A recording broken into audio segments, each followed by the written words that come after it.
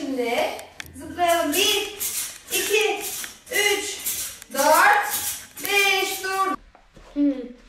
Hop. Aferin. Bunu da al bakalım. Evet. Bunu da al. Yakaladım. Aferin sana. Bunu takalım.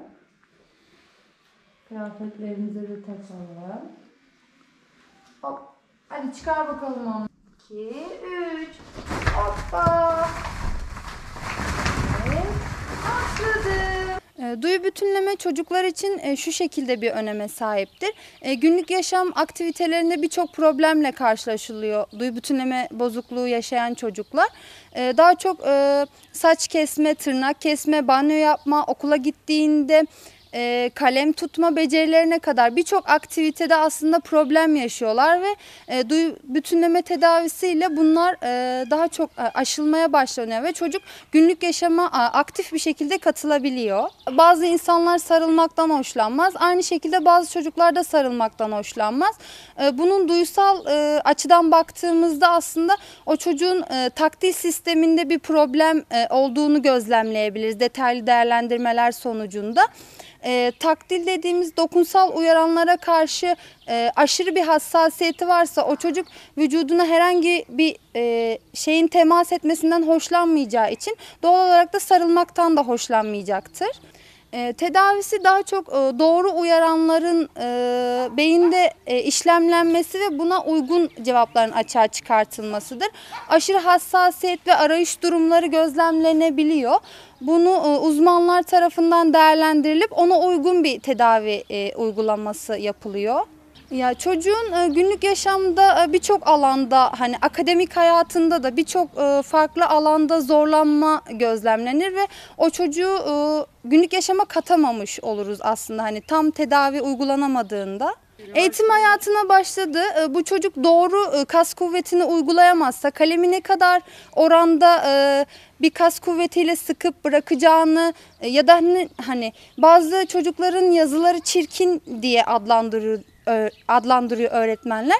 E, ama bu çocuktaki e, desen kopyalama, şekil zemin algısı aslında e, bunlardan kaynaklanan bir problemden kaynaklı da o çocuğun aslında hani toplum tarafından her zaman e, dışlanmaya müsait olacaklardır e, eğer doğru ve uygun tedavi uygulanmazsa. E, şöyle e, farklı farklı sistemlere e, gerekli uyaranlar yani bu sistemlere değinmek istersem vestibüler sistem, taktil sistem, proprioseptif sistem yani vücut farkındalığı e, bu sistemlere motor planlama, bilateral koordinasyon bunlar üzerinden aslında çocuğun e, çevresinin farkında olması, her şeyden önce vücudunun farkında olması, kendini yönetmesine yönelik e, daha çok çalışmalar yapılıyor.